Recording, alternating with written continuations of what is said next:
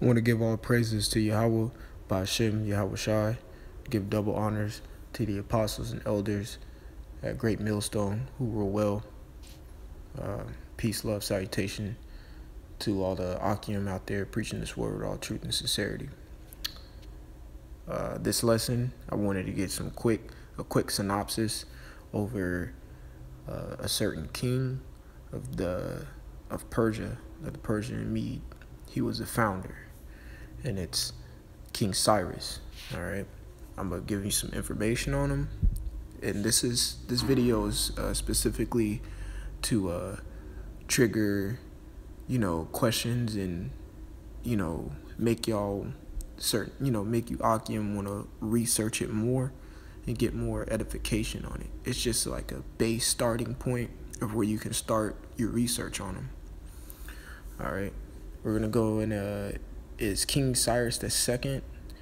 Um, they call him Cyrus the Great, and the Greeks called him Cyrus the Elder. We're gonna click on Wikipedia and just read a little bit about about it. He ruled. It says his reign was from Uh, there's so many different. Okay, he said he lived from 600 BC, uh, 598 or 600 BC. So he reigned about from 539. I want to say. No, it's right here. 559 to 530 BC. Well, he ended his reign at 530 BC. All right. You can see the the places he took. He took over the Media Empire, Lydia, and the Babylonian Empire. And you can find all these, um, specifically the uh, Babylonian. You can find the transfer of power in the scriptures in Second Chronicles, the 36th, the 36th chapter. All right. Under his rule, the empire embraced all the previous civilized states of ancient of the ancient Near East, expanded vastly, and eventually conquered most of the Southwest Asia and much of Central Asia and the Caucasus. From the Mediterranean Sea, um, Hellespont, Hellespont, if I'm pronouncing that right, in the west of the Indus River in the east. Cyrus the Great was created the largest empire in the world had yet seen. All right, that's a little something. I'm just gonna go ahead and back it with the uh, scriptures real quick.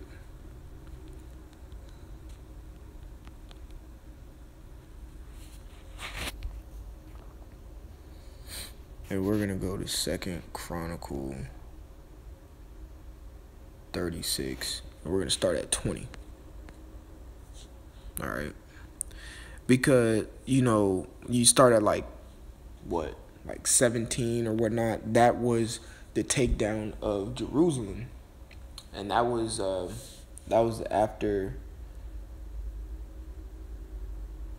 if I'm pronouncing it right, the rule of Zedekiah, the, the king of, uh,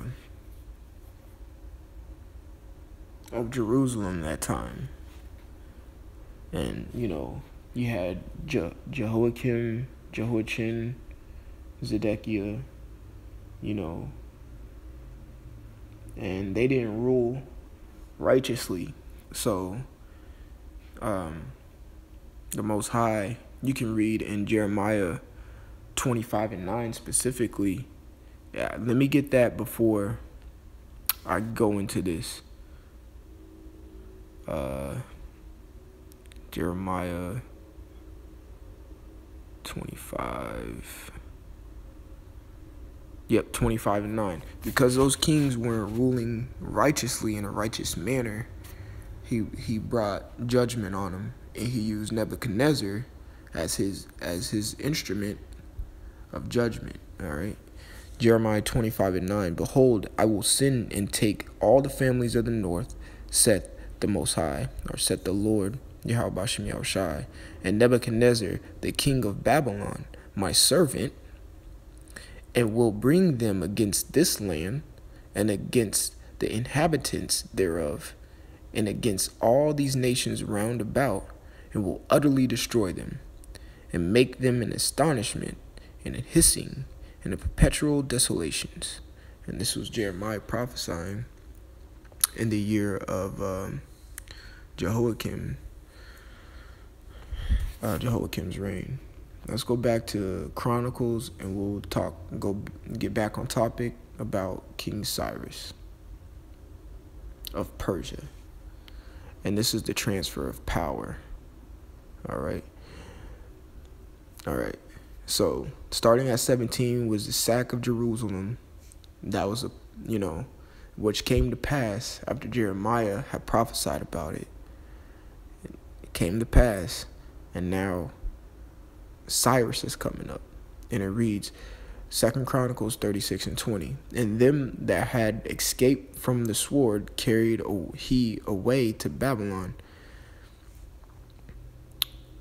where they were servants to him and his sons until the reign of the kingdom of Persia. All right, here's the transfer of power. And them that had escaped, oh, Salat, verse 21, to fulfill the word of Yahweh Shai by the mouth of Jeremiah, which I just read in Jeremiah 25, until the land had enjoyed her Sabbaths. For as long as she lay desolate, she kept Sabbath. Because in Jeremiah 25 and 9, it said, it would, you know, he would bring someone from the north, Nebuchadnezzar, his servant, and it would be desolate. All right to fulfill three score and ten years. Verse 22. Now, in the year of Cyrus, king of Persia, the word of the Lord, spoken by the mouth of Jeremiah, might be accomplished.